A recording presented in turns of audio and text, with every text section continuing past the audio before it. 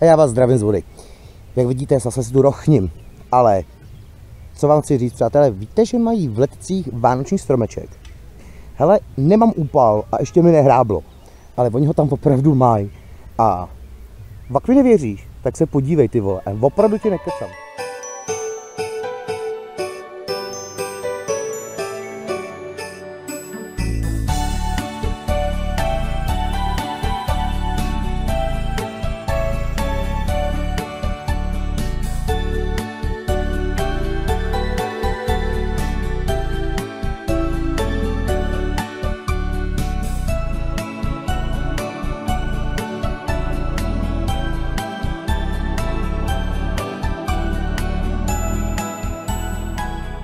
Jsi viděl vánoční strom v Lepcích? Jo, jestli mi hráblo, hele, můžu ti říct, já jsem věděl, že jste si mysleli, že mám úpal, že vám říkám nějaký blofy. Ale takhle to za mnou. Oni mají překrásný vánoční stromeček, se na to podíváš. Hrozně krásný. A mají ho ty vole ještě ty vole v červnu. To je hrozně praktický, to znamená, že nebylo si sundávat a až do nového roku. Ale pokud byste někdo toužil na Plzeňsku vidět vánoční strom, tak jděte do Ledec, protože tady ho ještě do teďka mají skovaný. A stále postavený. A opravdu akční. Podívej se, že mi opravdu nehrabe, že nemám úpal nebo úžek, ale že i je za mnou, hele, ta koule. koule u hlavy. Takže vidíte. Takže kdo by nevěděl, hled se Plzně, Herbert hasičárny, tady. No, vedle hasičárny, tak mají Weihnachtsbaum.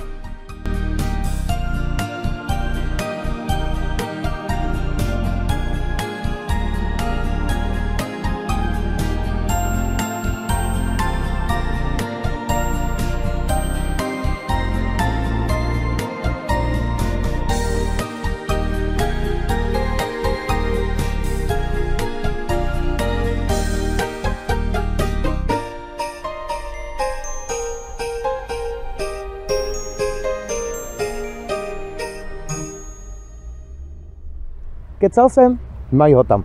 Vánoční stromček v letcích, ale mně se to zdá, jako kdybyste se tě ještě jednou podívat někdo, je to opravdu dobrá kuriozita, že máte vlastně před prázdninama koncem června, máte v letcích vánoční strom. No a jinak já jsem dneska tady rochním a proč jsme se měli přátelé, já jsem se dneska jel kvůli tomu se Šárkou, my jsme v samém zavařování, v té honbě za úrodou, zapomněli tyhle na to, že nemáme doma co k jídlu. Takže jsme museli pro chleba, museli jsme prostě pro základ pro šunku a takové věci. A taky k tými dietě, takže jsme vlastně byli nakoupit, no a cestou zpátky jsme byli rozjet z toho auta, tak jsme se právě byli skladit sem.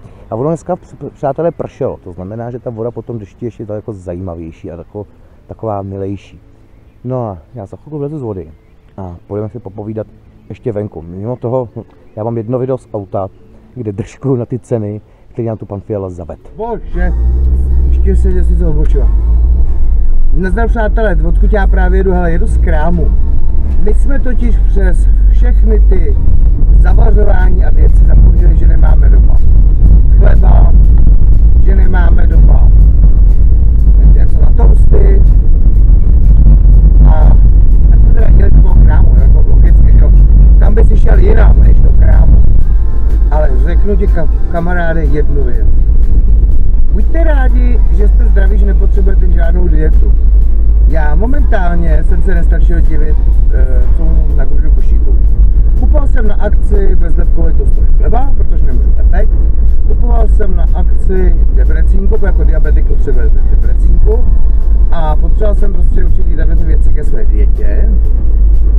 A za tři debrecínky, tři kladenský pečeně, toustový chleba ty vole, a jednu diatrest do, do, diatrest do šťávy jako vodu. Ty vole, jak jsem nechal v krámu, 535 korun. Jo, a ještě jsem si kupoval Aidal Sejra, nízkotučný. Jako opravdu, když to člověk nepotřebuje, tak se dá třeba koupit nějaký to obyčejný jídlo. Ale jakmile prostě se musíš dodržovat nějaký léčebný režim, nějaký harmonogram, tak si úplně v prdeli, vole. A to je opravdu, já jsem teď vzpomněl na projev soudruha Fialy, který mě opravdu dojmul a pláči, protože říkal, že vysílá jasný signál, vysílá jasně kulový. A vždycky, když ho vidím, tak vždycky napadne písnička Čekám na signál, signál nepřichází a tak mluvím sám. Tak je něco podobného, jo. Takže ten tak čeká na jasný signál a Rakušan to nechce odstoupit, to od koryta, ten je taky jasný. To je druhý inteligent. Takže my vlastně doplácíme ten deficit, oni furt to hází, to dělá babi. No už měl covid. Jo, protože jela ta ekonomika někam do háje, ale teď vlastně ta ekonomika jde úplně totáž do háje. Takže mě zajímalo, co jako pánové vymyslí. Ty pouštěl, víš, ty se otáčel, tak se pouštěl se zpátky a vyzval dobro. Takže opravdu člověk jako neví, jako kam až to ty naši velectění soudruzi dotáhnou, opravdu ty vole. No, ty ceny ty vole, ty nešly ty vole o 10% inflačně. Hele, jednoduchý matematickou počítaj. Mouka stála 9,90, stojí 19,90, to je 100%. To je jednoduchá matematika. Sejra stál 25, stojí 44. 25 a kolik je 44? No, kdyby tomu skoro 90%. Kvůli tomuhle tomu musím z vody, ty vole. To je to fakt nejde. Until you came back. Until you came